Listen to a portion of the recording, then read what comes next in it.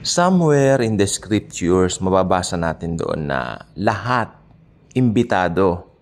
Di po ba? Pero hindi naman lahat tumugon doon sa imbitasyon. Kaya ang nangyari, yung mga, alam po ba ninyo yun, yung mga hindi masyadong pinapansin. Yung mga deadma, yung mga dinededma nila dati, inimbita, nagsipunta. Okay, kasi ito po ang sinasabi ko po rito, ang mga imbitado po dito talaga, yung mga Hudyo. Sapagkat kung titignan po nating mabuti, uh, ini-expect talaga sana, di po ba, na kung meron mang tatanggap doon sa pagdating ng Panginoong Hesus, ito yung mga Jews o mga Hudyo. Pero what happened was, nireject nila ang Panginoong Hesus, ipinako pa sa cross na matay, pero lahat naman po niya ng ganyan ay may dakilang layunin. Di po ba? So sa, ban- sa dakilang banquet ng Panginoong Heso Kristo, yung kanyang hapagkainan, no? originally, talagang minement niyan para sa mga Hudyo. Pero yung mga hindi imbitado, mga Gentiles yon hindi ini-expect ano, nakapasok tayo. So, ang napakagandang tingnan. Sa hapagkainan nitong Last Supper na ito, iba't ibang nasyon ang nandyan, babae, lalaki, kahit sino, basta naniwala sa Panginoong Hesus, katanggap-tanggap. Napakabait ng Panginoon. Uh, ito pong katotohanan ito ay talagang sa atin ay, ay pinagkaloob. No? Kaya ngayong, alam po ba ninyo, tuwing naiisip ko yung pribilehiyo na ako ay kristyano, ako ay ginagamit to share Jesus sa mga hindi paligtas, napakasarap sa pakiramdam. Kaya meron bang nagpapadown sa inyo ngayon sa mga buhay po ninyo?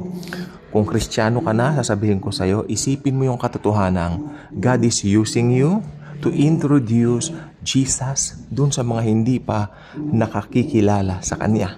At what a privilege of being used by God to introduce His beloved Son to the world. Tayo po yon. Tayo po ang ambassadors of Christ, dine sa lupa.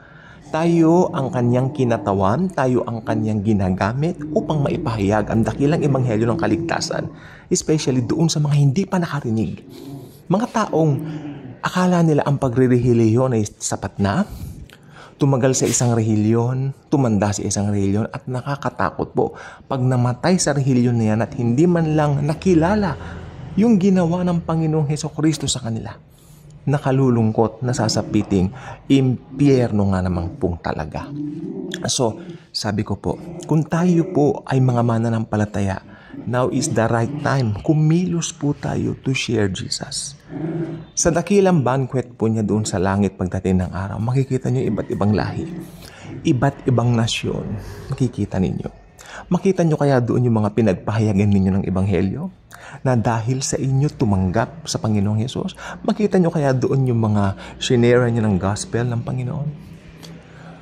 Napakaganda na now is the right time. Use every technology na meron tayo. Like to, mga ganito, mga makabagong teknolohiya. Gamitin natin to reach out people. Start a YouTube channel.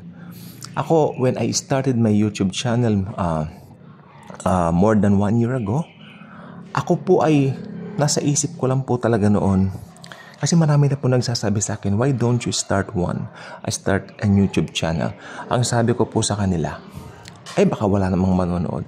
Until I realize, sabi ko, para kay Jesus naman ito. Sabi ko, kung may isa o dalawang manood, no, masaya na ako.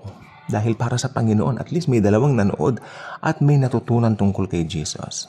Pero at tulad po ng kasabihan, the rest was history kahit naman po paano. Alam nyo ang YouTube channel naman natin ito ay hindi pa ganun kalago. Ano? Hanggang ngayon, actually nakakadismaya na makita na ay konti pa lang ang subscribers, minsan konti ang views, pero kagabi habang habang naiisip ko to sabi ko, okay lang kasi para kay Jesus naman ito.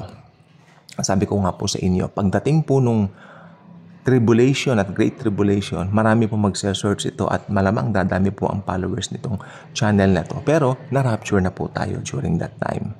I-reserve na lang po natin to para sa mga unbelievers na maiiwan during the uh, tribulation and great tribulation. May, lahat may purpose. Nangyayari lahat may purpose. Na-record lahat ng ito, nagawa natin lahat ng ito dahil may purpose para sa dakilang banquet ng Panginoong Hesus, makita natin sino ba yung mga pinagpahayagan natin ng kanyang ebanghelyo. Kaya kung hindi ka pa subscriber sa channel na ito, I invite you to do so. Click the notification bell. Share this video. Share the wonderful love of the Savior, the Lord Jesus Christ Himself. Thank you. And as always and forever, Jesus truly loves us all.